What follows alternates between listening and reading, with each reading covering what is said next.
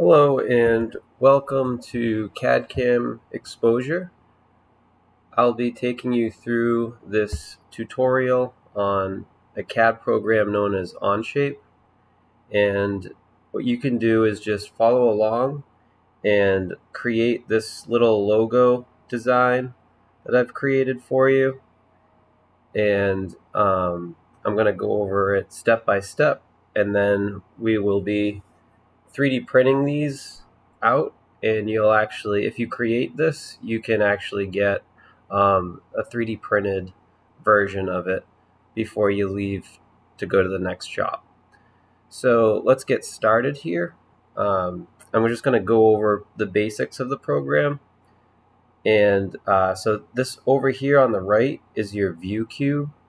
So if you click on it, you can actually, you can move it around and um, you can also maneuver using the right the, the scroll button the middle scroll button on your mouse.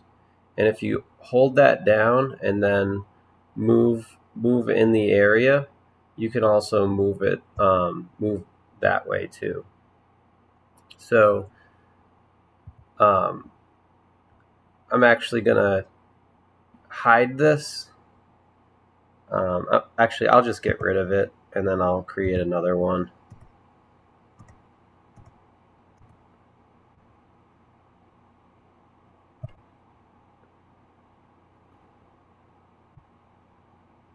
So we can start fresh here.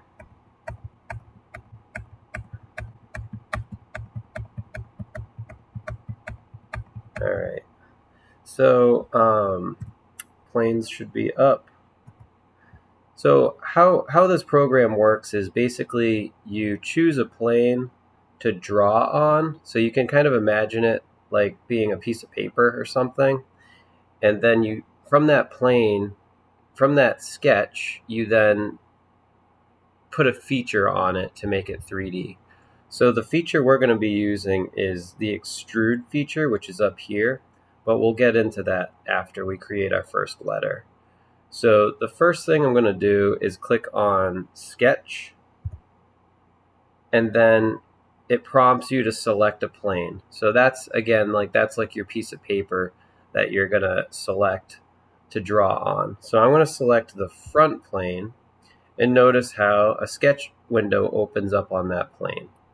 So I want to be looking right at it, so I'm going to click on this view cube right here where it says front and now it zooms me into being like straight down on that sketch. And now I'm going to begin um, making the C and I made the C using the center point circle.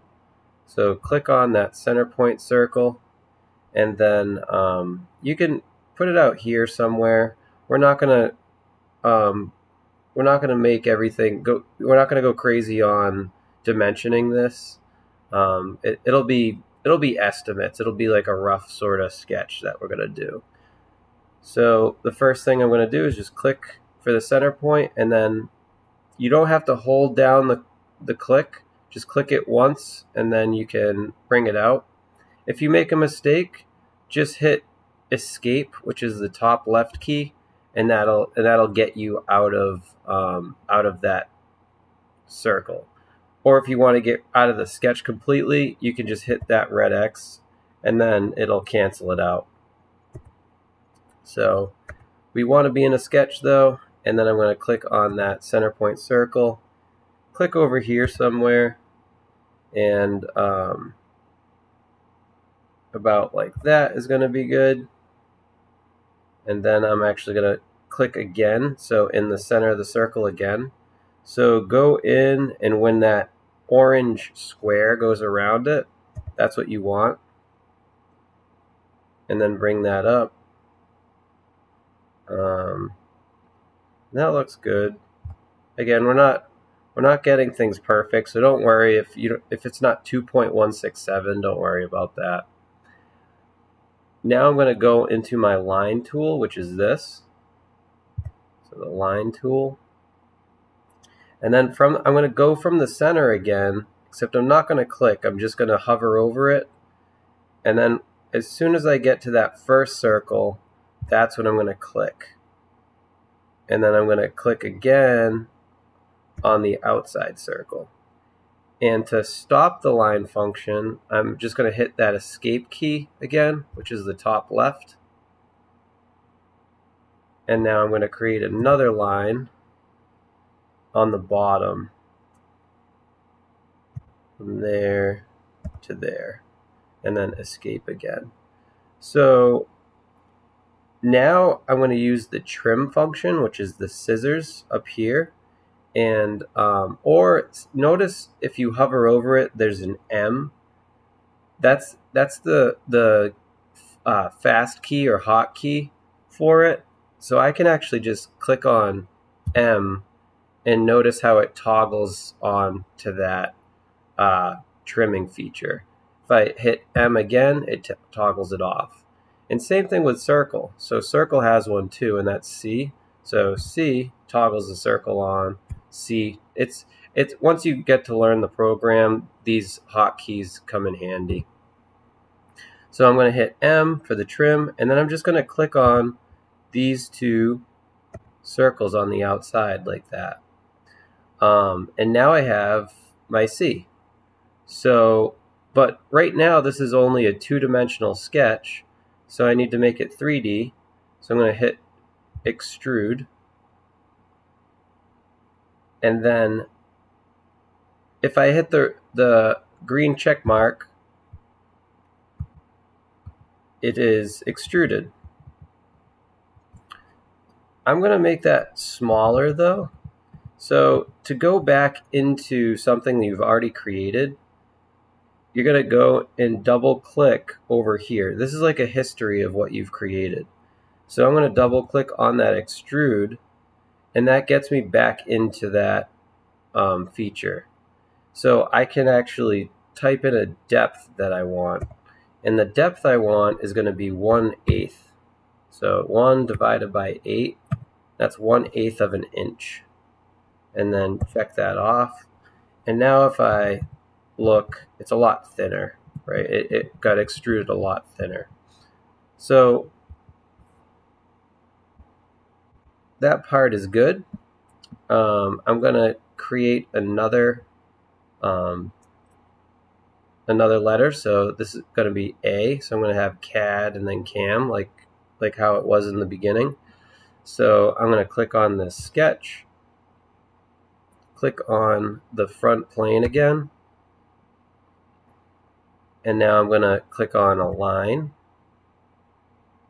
and since I since I'm 3D printing this, I want them all connected. So to do that, I'm going to go over here and I'm going to kind of overlap the A with the C. And again, it doesn't have to be perfect. We're just, um, I'm just doing it sort of like a rough approximation. That looks good. Go in like that. Go in like that.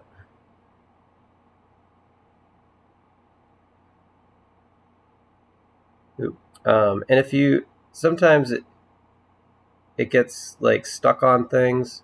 So hit escape and you can kind of like you can kind of back out again. Um, so I'm going to come down here and then get that about so. Over here. So you can actually use other points to kind of line you up too. So what I did is I came over to that point and then that dotted line kind of lines you up and then close it off. And then I'm actually going to put a little circle in the middle here. Um, and again, I'm using that dotted line to sort of guide me.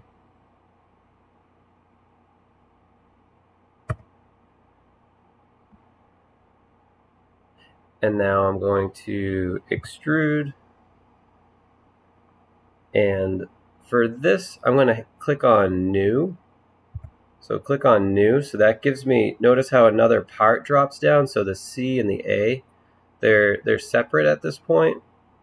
Um, I don't have to do that. I could just add it. So um, I'm actually going to stick with add. And then I'm going to put 3 sixteenths, 3 divided by 16 because it is going to be just one piece that we're going to 3D print. And then if I want to take a look, the side. All right, so far so good. And now I'm going to start the D. So I'm going to click on sketch again. I'm going to click on my front plane and for the D, I'm just going to use, um, I'm just going to use a half circle. And um, start it somewhere around here.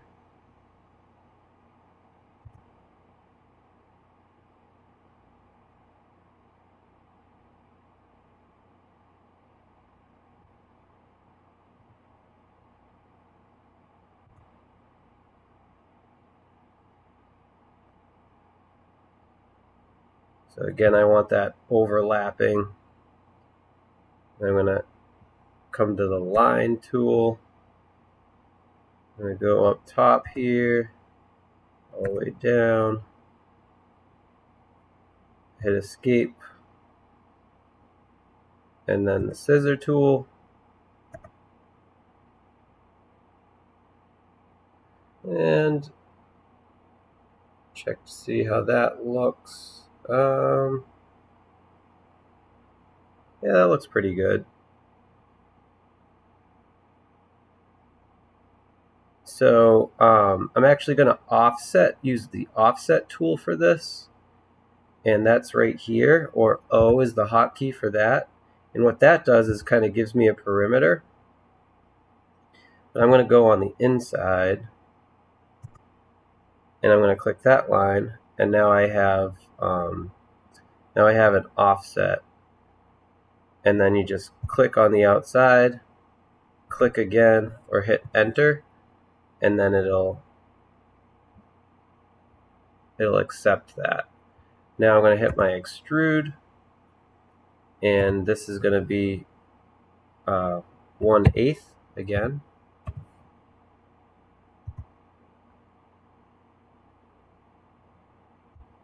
So now I have the CAD portion. And I'm going to create the cam portion. So sketch, click on that front plane, click on um, the circle again, and I don't have to get it perfect but I can I can go over here.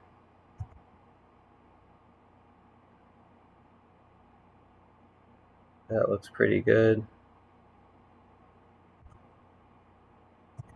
Do another one.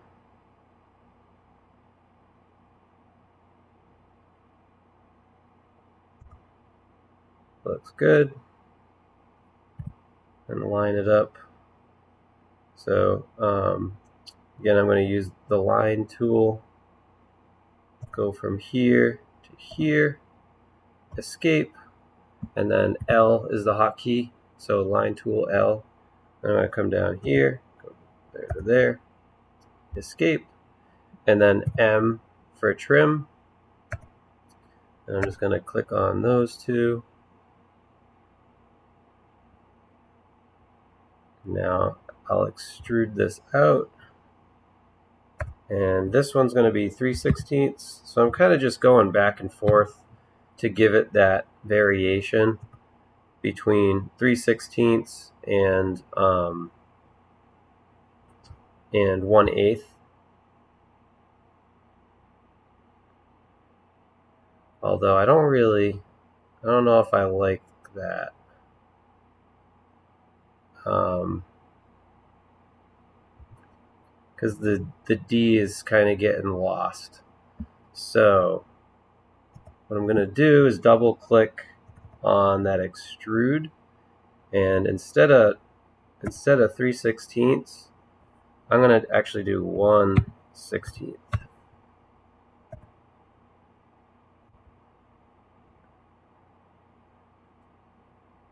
There. Um, I think that looks a little bit better. So um, now I'm going to create the A again. So sketch, front plane, click on the front plane. Now I'm going to create another A. Um, and it'll be similar to that A. Again, it's not going to be perfect, but it'll be close.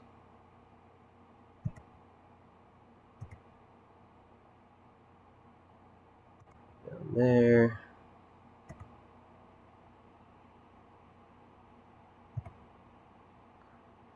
That's what's fun about 3D printing is the 3D printer will make everything perfect, but you don't really have to worry about that when you're creating a design or something. You can kind of just do what looks good.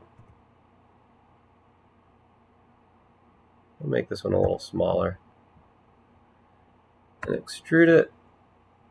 And then this one's going to be, we can do, uh, we'll do 3 sixteenths for this one.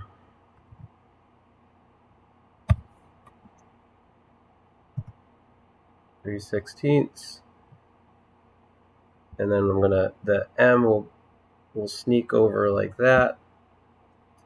Sketch, front plane, line tool.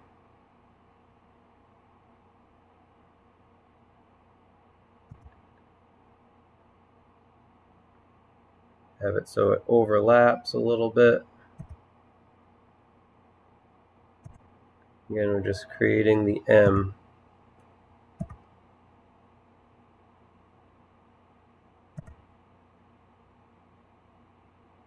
And then I kind of can line it up like that. That.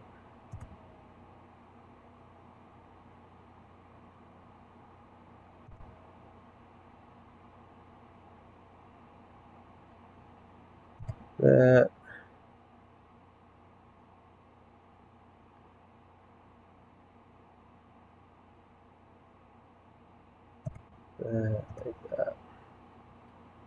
And that looks pretty good.